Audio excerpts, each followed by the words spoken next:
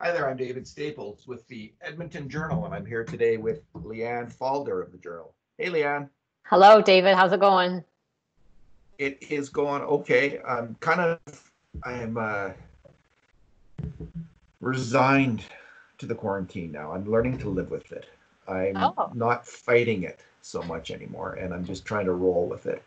What did it look like when you were, sense? what did it look like when you were fighting it? I was a lot more frustrated by everything, and I'm just trying to not be so frustrated and just uh, Yeah. more uh, just accepting of it and uh, trying to take care of take care of what I can take care of. So I'm starting to like lift weights, exercise more, uh, that kind of stuff. We're cleaning the house fanatically, organizing oh things. yeah. Well, you and I have flipped positions then because I was very accepting in the beginning and I've cleaned the house within an inch of its life. And now I'm mad because just today they announced that tennis courts are going to be, you know, shut for the immediate future. Yeah, and I love tennis. It's my it's my fun, it's my happy place and so I'm very very sad about that. Very sad. Anyway, but I'm not going to fight it. I'm not Serenity. gonna, I'm not going to climb that big fence with my racket. Serenity now. hmm See, I don't like. I'd like to know the thinking behind that. I don't get it, Liane. I don't know. Like that's it's two people in the out of doors. I know. Anyway, I know, I know, I know. However, all right. What you what you got? You want to go first? you you go ahead.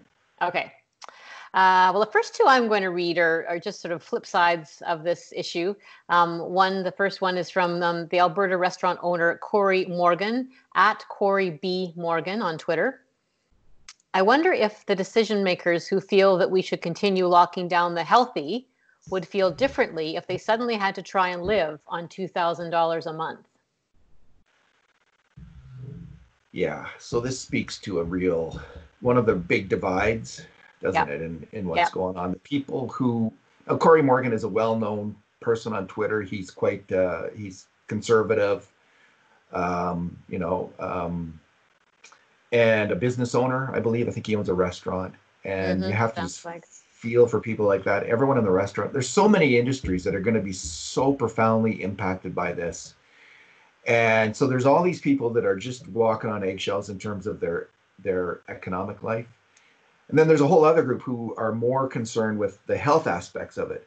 Yeah. And there seems to be there isn't There is a- always, but sometimes there's an overlap between economic se- security, whether you know for sure you're going to have a job or not, and whether you you don't. And then so anyway, I just think both concerns are so valid. Like the health concerns are so valid, and the economic concerns, and just hard job weighing them both. Do you mind if I just read my second tweet right back to back to the first Go one? ahead, yeah, because I know they're related. They Yeah. relate. So the second tweet is from Edmonton resident Garth Norris at Garth Norris. I wonder what the 2,600, pardon me, I wonder what the 2,560 Canadians who have died from COVID and their families think about rushing to open up the country because people are tired of being confined, feel it is inconvenient, or are feeling financial pressure. So, see previous reference. This is the flip side of that argument. People are frustrated um, when they hear others saying it's time for us to get out when people are dying um, and families are losing their loved ones. So that is uh, there is an um, there's a tension between those two perspectives that's not going to be easy to resolve. Yeah, I'd like to say, like in some ways it's kind of a false argument because I think that Corey Morgan would also have concerns about the health issues, and I think that uh, Garth Norris would also have concerns about the economy. Yeah, And when you're taking a point in a debate, like when you're making it a point in a the debate, like you're kind of it looks like you're taking one side, but I don't think there's anyone, any politician right now who's opening things up. They're not. They're. They're. It's not like they have no concern at all. And, No. And the- same for the people who say let's let's be careful. It's not like they're worried about the economy, but I think there really is real tension between people, you know, based on which one they put more weight on right now, and and uh, it's the debate's going to be ongoing and and it's going to be pretty heated, I think. hmm yep. All right, here we go. Toronto Star reporter Jennifer Yang. She worked at the Journal, right? I don't think so, but maybe doesn't sound Maybe, familiar um, to me. Okay, here's Jennifer what she Fong used says. to work at the Journal. Who? Jennifer Fong used to work at the Journal. Oh, Jennifer Fong. Gotcha. They. That's All what right. you're thinking. Here's the quote. I might be thinking of that person. Okay. it is insane to expect parents to work full-time jobs while being full-time parents. This pandemic clearly isn't going anywhere anytime soon, so something really needs to give, and I hope it's not parents' sanity or livelihoods. Well, this must speak to the, you know, having the homeschool issue because really full-time parents have always been, many full-time parents have been full-time workers. Like that tension is nowhere near new. What is new is the, you know, having kids out of school um, and or out of daycare. So that's that's the real issue here. But there's always been that tension between work and home, work and home. Yeah, you can't have. I don't think you can. You I don't know if you could even have like if you had a childcare worker or a nanny coming in. I don't know if you could you, if you could continue to employ that person right. I think you probably could, but there's a lot of people now trying to do both, take care of their kids at the same time as they're working. That's yeah. a whole new thing. Like yeah. right in your face while you're trying yeah. to do your job. Yeah, uh, you know, yeah. Because you can't you can't send them to childcare, and you and you also supposed to you're supposed to be in charge of their schooling. So yeah man there is it's really ramped up the tension on some people and i i absolutely uh, have uh, empathy for people who have kids between you know anyone in the elementary school age uh, you know where they're so in need of you and so in need yeah. of a teacher and and and pre think about it Liane you can't i mean yeah. you know toddlers you can't do so one single thing if there's a toddler in the house like there's just no way so yeah that that is really really tough there is no doubt about it I think people right. have to be. Uh, I'll, I'll, oh, just quickly on that point, I think people yeah, both ends of that perspective have to give have to really cut themselves slack. I mean, we might not all be the best parents we've ever been, and we might all be not all be the best workers we've ever been. And I really hope that employers are also, you know, being a bit more generous in that in that respect. Okay, I'll uh, since you read the two, I'll just read my second one. Uh, okay. Ashley Townshend. This is Ashley Townshend, Director of Foreign Policy and Defense of the United States Studies Center, and he tweets: China threatens to stop Australian wine and beef imports in response to Canberra's bipartisan call for an in- independent inquiry into the origins of and the response to COVID-19. This speaks for itself, really. So what we're seeing is a lot of hostility towards China right now, and uh, in terms of the um, their their initial covering up, muzzling of this issue, and and um, which led to problems around the world. And you know, I, I there was a someone was calling for like a, a full inquiry into what happened in China, and it's absolutely necessary but I just don't think it's it's the last thing that's going to happen because President yeah. Xi was involved in the cover up, and for him to have a full inquiry would point the finger of the Chinese people and the world right at him, mm-hmm. because he and other officials, their first instinct was to, uh, what was it? Uh, the Klein said, shoot, shovel, and shut up. Yeah. You know, cover it up, cover it up, and it just t- totally uh, blew up in the face, their face this is going to have ongoing long-term re- repercussions uh, uh, for China, and that's why I read this. And China is, of course, going to fight back. So this is going to reset world politics, um, and it's going to be one of the many impacts flown out of this. Yep. Mm-hmm.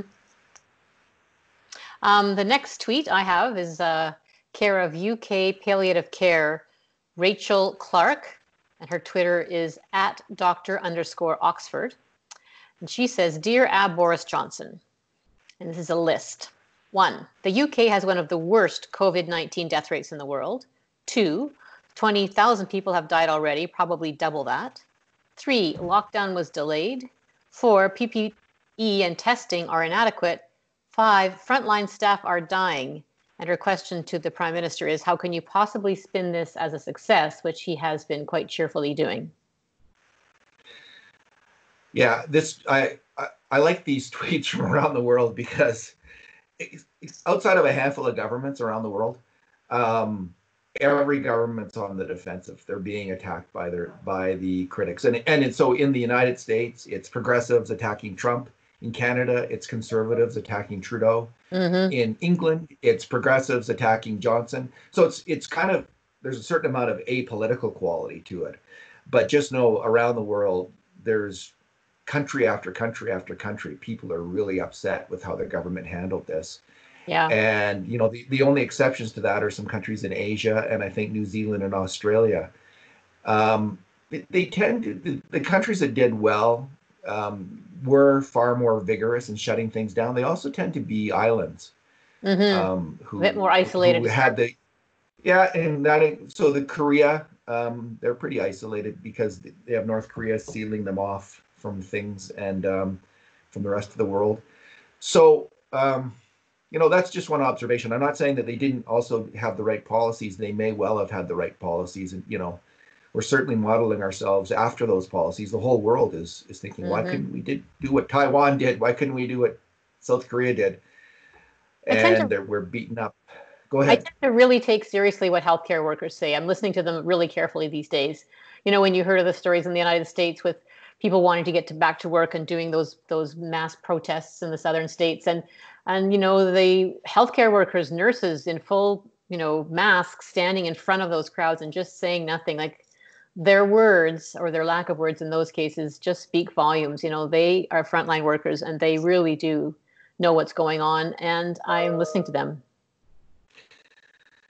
Yeah, you know, and uh, it just speaks to like we have taken really strict measures in Alberta, including the tennis courts now being shut down.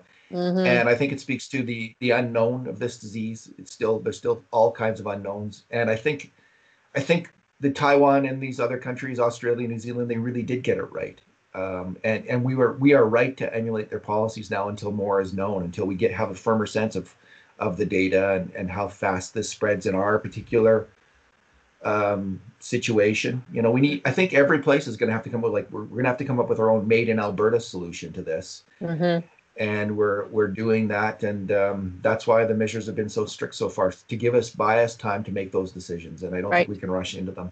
Yeah, yep, I agree. Um, my tweet is from myself, but it's not really uh, my tweet so much. I'm just pointing to a Globe and Mail column that ran, and it's from uh, uh, a Canadian um, epidemiologist who was based in China for a long time, and was recalled uh, from China, I think, under the Trudeau government. And when this all happened, he um, he asked, he said, you know, I have all this advice I could give you, uh, Dr. Tam, Dr. Theresa Tam, the chief public health officer. Can we talk about this?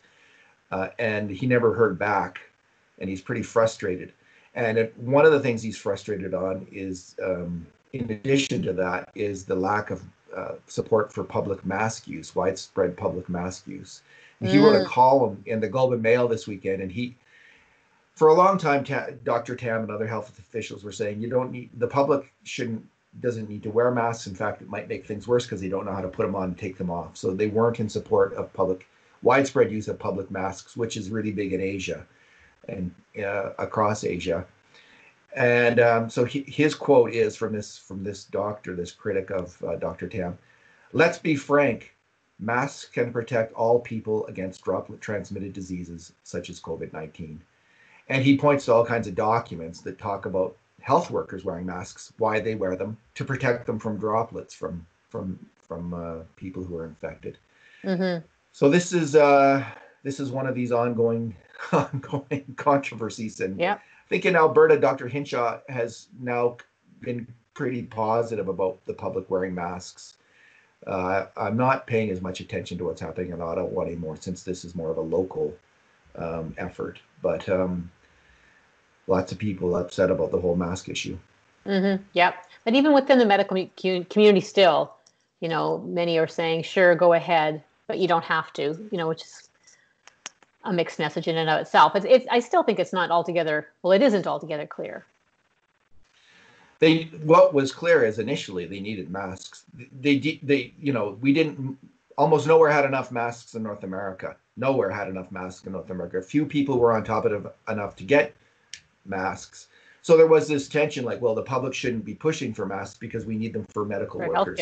Mm-hmm. But I don't, I think that was kind of a false there wasn't really a problem there because I don't think anyone in the public would disagree with that, that the medical mm-hmm. people needed to come first to getting masks. Mm-hmm. Maybe what was needed was a, what the US CDC did, the Centers for Disease Control did um, about a month ago. It said, you know, there's new evidence about the mask. This disease spreads asymptomatically. If you can get a cloth mask, wear it. It makes sense. And they put out a video showing an easy way to make these masks. Mm-hmm. Yep. You know, that's what that was their response. So I think there was a change about a three weeks ago, and I think that uh, Dr. Tam, if she had been a little bit more on the ball, would have just said, "Yeah, If you can wear, wear a, a mask, wear one, and here's how to make one. Just do what they did, because that seems to have stopped the controversy in the United States, and it's still boiling along in Canada. Mm-hmm.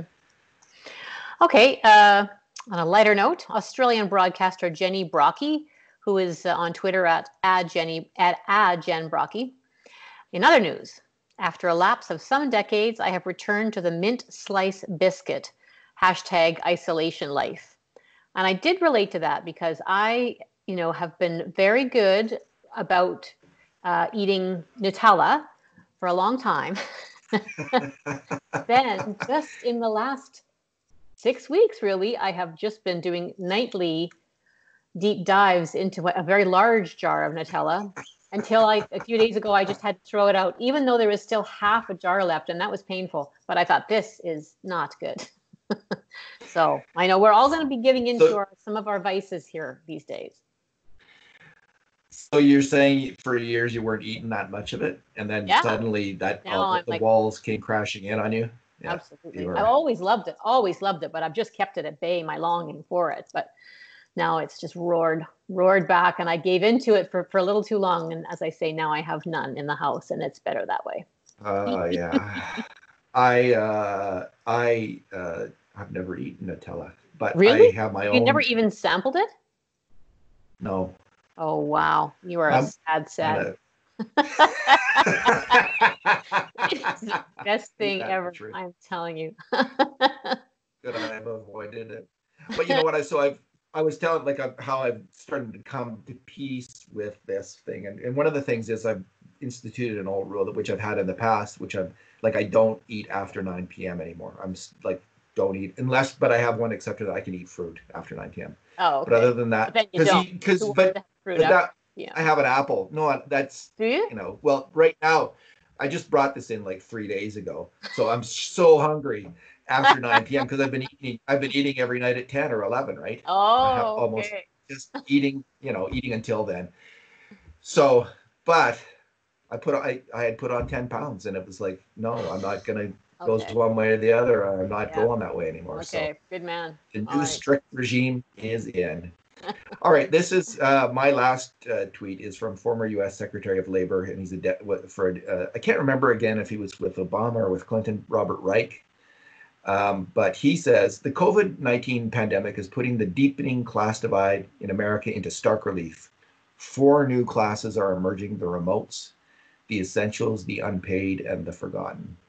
Mm. I mean, I think this this gets to what we were talking, what I was talking about, what we were talking about early on here where there really are these different groups of people. There's the whole group that either have lost their job already, they're not working, or they and and then they're afraid they're not going to ever work again or work anytime soon. Then there's people with secure jobs, and then there's the people who have poor health or um, um, relatives who might have poor health and are really worried about this. And then there's people who are really super healthy and they don't think about that at all. So where you line up in those four groups, I think, determines your political position on a lot of the different issues in mm-hmm. terms of reopening, which mm-hmm. is this huge debate right now, which is going on around the world. When should, how should we open? When should we reopen? And we're going to find out more about this in Alberta. So you, uh, I don't know, but I think I'm looking at, I'm looking at you, I'm looking at myself. I think most of us have people in all camps. Like we have, we're worried about the health stuff and the economic stuff. Yep. Yep because it is i mean there are those separate camps but there's a lot of overlap and you know if we don't if we don't have an affected relative ourselves who's ill and then we know someone who's just lost their job. So we even even among those camps there there are um, common threads. All right. Uh, this is my last uh, tweet david. Meanwhile in canada at meanwhile in canada the tweet, re- tweet reads I am absolutely in favor of strong measures to maintain physical distancing, but our national parks should be open, not for camping, but definitely for hiking, as they should be free to encourage exercise. And they should be free to encourage exercise. Zero point in having them closed, they should open first. Ah, yeah, I mean, I, I would tend to agree but then everyone will be rushing to hike, and then there'll be hordes of people hiking. I don't know. What do you think? Just seeing, I didn't know they were closed, honestly. Yeah. Well, Banff, you know, the, the, the, town of Banff has been oh. turning people back right at the town limits. Um, their, you know, their economy is of course in tatters. They had 92% fewer people in the park over the over the long weekend at Easter than they did the year before. Well, one of the disputed facts, one of the things that the scientists are working out is okay, does how readily does this transmit outside, especially when it's warm out? Mm-hmm. And uh, you know, Dr. Hinshaw has urged us to get outside and and be outside. So I don't quite understand how some of these measures,